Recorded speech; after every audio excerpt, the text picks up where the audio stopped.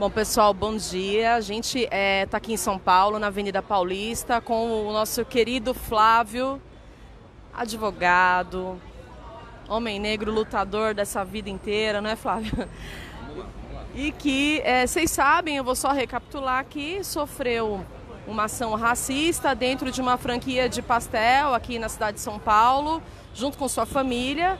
E a gente está hoje aqui, antes de iniciar um ato simbólico contra o racismo, em frente a uma das unidades dessa franquia, para conversar um pouquinho com o Flávio, não é? Entender mais agora do, do ponto de vista da mídia independente, o que realmente aconteceu, enfim. Flávio, obrigada primeiro por falar com os jornalistas livres. Você está ao vivo na nossa página do Facebook. É... Cara, passaram-se quantos dias daquele dia? Bom, vamos lá. Aconteceu no dia 19 de outubro. Hoje nós estamos no dia 14. Quem é bom de matemática aí? É, agora eu, é, passaram mais 20 dias e é, eu percebi que é, foi normalizado tudo o que aconteceu. Algumas pessoas é, minimizam né, o nosso sofrimento, etc, etc. E caberia a mim, junto com os meus parceiros, nesse caso do Cafro principalmente, é, buscarmos uma resposta rápida, exigimos uma resposta rápida, porque as defesas evasivas, as defesas é, que negam os fatos, que negam responsabilidade é, no que diz respeito a racismo, acho que elas já não, não aceitam mais. É, chegou a hora de fazer as pessoas se comprometerem com a mudança que todos dizem que querem é, que ocorra. Então, a mudança não tem que ocorrer só lá em Brasília, entre os poderosos, tem que ocorrer também em uma pastelaria da cidade de São Paulo, tem que ocorrer no nosso dia a dia, por onde a gente passa, tem que ter mudança. E qual é a mudança hoje que o povo precisa? O povo precisa é, de menos racismo na sociedade. Está né? Tá escancarado. É, eu tô, tô falando, eu vou falando. Está tá, tá escancarado o que está acontecendo. Nós sabemos que os racistas explícitos eles estão se manifestando cada vez mais. Né? É... Vamos, vamos observar o seguinte: se nós partimos do ponto de vista é, da mulher negra, por exemplo, o tratamento que recebe a mulher negra hoje na cidade de São Paulo. A mulher negra na cidade de São Paulo ela é extremamente fetichada nos espaços ela é, é lançado sobre ele, sobre ela esse tipo de tratamento. Ela é tratada como algo é, sexualíssimo. É, os, os, olhares das pessoas, a forma das pessoas tratarem, para uma mulher negra ser atendida dentro de uma loja de sapato. A pessoa, ela entrar na loja de sapato e a pessoa perguntar se ela quer um par de sapato, é um milagre. Nós sabemos disso, sabemos que é o nosso dia a dia. E quanto mais traços identitários ela absorve, é, quanto mais traços identitários do ponto de vista da sociedade ela tem, né, é, mais ela é perseguida com as mínimas atitudes, as mínimas sutilezas que vão impedindo que ela fique bem nos espaços, sinta bem nos espaços.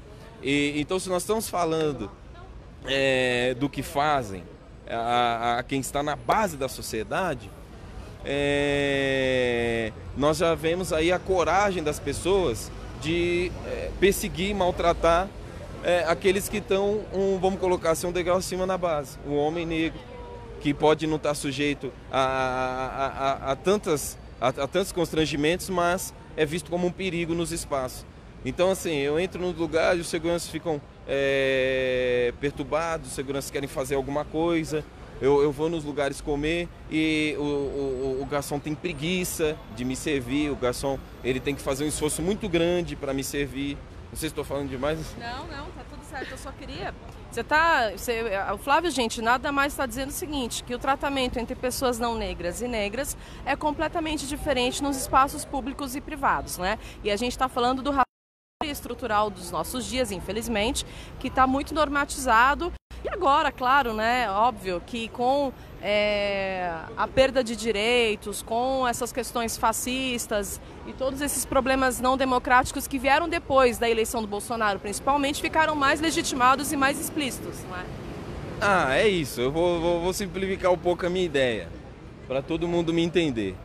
Depois que o pessoal se sentiu fortalecido pela ideia do nosso presidente racista, É, o, eles desabrocharam, desabrocharam, saiu para fora essa, essa maldade. Né?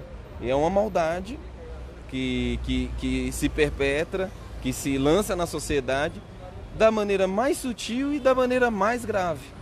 Né? E, e essa maldade é tão é, latente, tão expressa, que, por exemplo, corpos negros falando alto no espaço gera alguma intervenção é, política, alguma intervenção de interesse institucional. É, se fôssemos todos brancos fazendo uma música, fazendo é, um sarau, falando sobre a beleza da, da cidade de São Paulo, eu duvido que essas pessoas estavam se aproximando.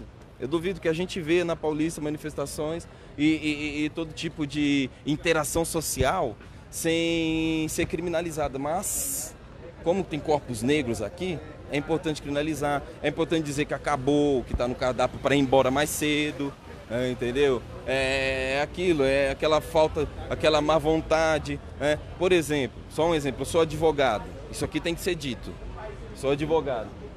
É, eu sou um advogado que dificilmente as pessoas é, me vê passando pela porta do fórum sem questionar se eu tô lá a trabalho. É, é, depois de um tempo, o segurança te conhece, ele te deixa, deixa em paz. Mas se é um segurança novo, ele te para e pergunta para você onde você vai. E aí você sabe que pessoas brancas de terno passam ali, você negro de terno parou por quê? Então essa questão, gente, nós, nós temos que enfrentar isso. Nós temos que lutar porque são os mínimos detalhes que ficam ali machucando, magoando a gente, prejudicando a gente, atrasando a gente. Entendeu? Você vem e não pode comer, tem que ir em outro lugar, mudou sua rotina. Você vai no fórum, precisa se explicar, etc. Se atrasa ainda mais. É tanta coisa que acontece, a sociedade precisa abrir a mente e colocar de uma vez por todas dentro da mente que a responsabilidade racial é de todos nós. Nós temos que mudar a nossa postura com relação às raças e considerar que as pessoas pretas, corpos pretos, são muito mais corpos pretos, são pessoas com história, são pessoas com valores, são pessoas com família. São pessoas com vontades, com sonhos, com sentimentos. É isso. Flávio, agora só para recapitular, pessoal, para quem começa a assistir agora os Jornalistas Livres, a gente está com o Flávio. Flávio é, tá aqui, a gente está aguardando aqui uma concentração de pessoas para fazer um ato simbólico contra o racismo, em frente a uma, uma franquia de pastéis aqui na, na, na, capital, aqui em São Paulo. Nós estamos no coração do, do centro financeiro da cidade, né, da, na Avenida Paulista. Bom, bom muito dinheiro rolando por aqui, né? Pouca, pouca educação é, antirracista, quase nenhuma, não é, nesse espaço. E Flávio, para quem ainda assim não conseguiu entender o que aconteceu, né? A gente falou bastante já sobre o combate ao racismo, mas sobretudo a ser antirracista. Queria que você contasse um pouquinho o que aconteceu aqui nessa unidade de pastel, de pastel aqui na, na Paulista, com você e tua família. Não, tudo bem. É, Gente, é muito simples. Nós chegamos aqui para comer. Foi nessa unidade? Nessa unidade. Paramos aí nesse caixa onde tem essas pessoas. Né?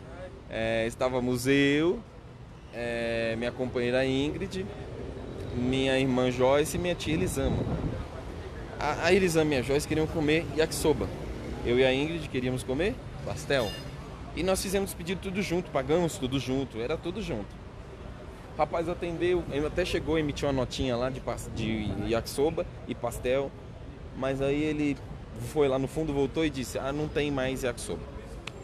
Vão ter que trocar, tem que pedir pastel. Todo mundo vai comer pastel. Ah, mas não, mas minha irmã, puxa moço, mas não, é, acabou. E quando chega, ah, só amanhã. Só tem agora amanhã. Ah, então tá bom, poxa, poxa, poxa. Pastel, pastel, pastel. Pagamos entramos para comer, estávamos sentados ali. E aí a gente comendo, todo mundo acabou se empolgando ali comendo pastel. É, já tinha passado já toda a questão, vamos comer pastel, não tem yakisoba. Até que chega um casal de pessoas brancas, assim, bem loirinhos e tal. E aí começaram a preparar o yakisoba. A minha irmã olhou para mim, eu olhei para trás do negócio na chapa, tava começando a esquentar já. Ia cheirar. Eu ia ficar. Eu ia ter que comer, sentindo o cheiro. Entende? É, nossa, um absurdo.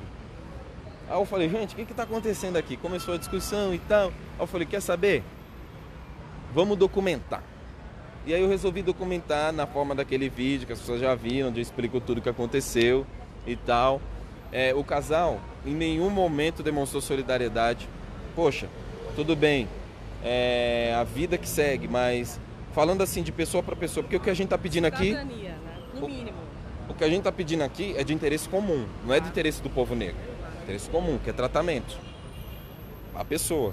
Então, assim, independente do que ele fosse, é, como ele se identificasse, eu acho que eu ia me solidarizar.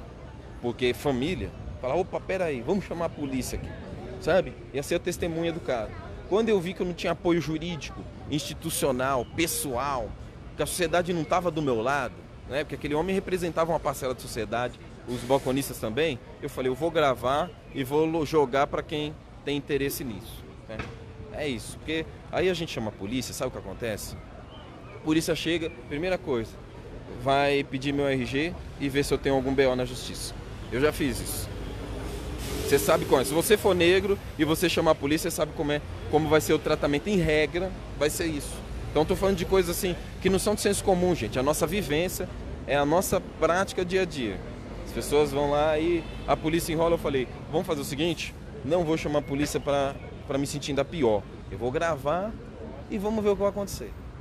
Flávio, só para finalizar, é, o pessoal dessa rede é, chegou a te procurar depois? Parece que teve, né? Alguém que te procurou para, não sei, eu tô sonhando talvez, mas acho que é bom dizer, não é? Teve algum posicionamento, não teve da, da parte da, dessa franquia de que se intitula aqui como o melhor pastel de São Paulo, mas talvez o mais racista? Olha, vou ser sincero com você. É, me procurar, me mandaram um homem, me mandaram, mandaram um homem falar comigo. Quem um homem, um homem negro chamado Ricardo, é, que veio falar irmão, irmão e tal, e nós e tal, e nós. Mas assim, um porta-voz sem poder de decisão e sem uma carta de nenhuma carta de desculpas na mão. Então é, é eu não estou nesse nível de desprezo, né? Não estou nesse nível de desprezo. Eu acho que não. Eu queria ver o homem que maltratou minha família vir falar comigo e me pedir desculpa. É isso que eu quero. Para começo de conversa, pedir desculpa para minha família e para mim. Porque eu tenho família. Começa por aí. E depois, uma medida institucional, é, com- com- como é que eu posso dizer? Institucional é com estrutura de, de mudar alguma coisa na história. Bolsas de estudos, por que não? Bolsas de estudos, tem, tem a Educafro, pode fazer parceria com a Educafro e ceder bolsas de estudos na Educafro. Você está dizendo essa franquia, então, Essa franquia. poderia se disponibilizar a ser antirracista, talvez utilizando, por exemplo, essa parceria, né, possível com a Educafro, que sempre esteve aberta a tudo, não é? Nesse sentido, mas parece que não está rolando muito essa, essa vontade. Olha, é, a gente já sabe que falar que não é racista é muito confortável e parece uma estratégia covarde para alguns e muito inteligente para outros. Então eu falo que eu não sou racista e eu continuo fazendo o que eu quero. Não dá mais, tá? Não dá mais. Se o racismo é um crime e nós somos anticrime, nós temos que ser antirracistas. E o que, e o que é ser anticrime? Ser anticrime é fazer de tudo para que a prática criminosa acabe. É por isso que nós ficamos desesperados para denunciar quem está assaltando, quem está furtando. A gente fica né, desesperado. Tem gente que não dorme enquanto não entrega um assaltante nas mãos da polícia.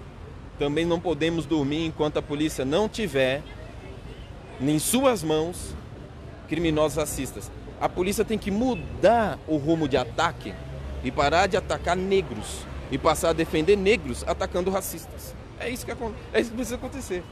É, o Frei Davi, da Educafro, já chegou, tá ali, né? tá aqui. Eu não sei se você vai querer também colher uma palavrinha dele. Que é parceiro aqui. Tá, eu vou deixar você conversar com o povo, né, que está se concentrando, claro. Depois a gente vai falando mais, a gente vai mostrar outras imagens, né, desse ato simbólico. Mas quero te agradecer muito, assim, esse esclarecimento, essa aula de ser antirracista, que muita, muitas pessoas não negras precisam ouvir todos os dias ainda. É, e dizer que os jornalistas livres está muito solidário a tudo que aconteceu aqui a você e sua família e que a gente está pronto aí para entrar nesse embate com você a qualquer momento. Demorou. Só queria deixar uma última mensagem. Gente, é, tem o Yuri Marçal, sabe? Sim. Ele tá postando uns vídeos agora, sabe? Daquelas pessoas antirracistas, assim, que é muito, muito, muito legal, sabe? É, muito tapa na cara. É muito tapa na cara. Mas, sabe, eu tenho uma que é assim, shh, faz, pede pro negro ficar quieto, né? Shh, fica quieto, fica quieto. Eu sei do que você tá falando, sabe? Tipo, é, vem cá, é eu que vou tomar conta do que você sente, não é você que sente, sou eu. Começa por aí. E, e a solução vai partir de mim, tá?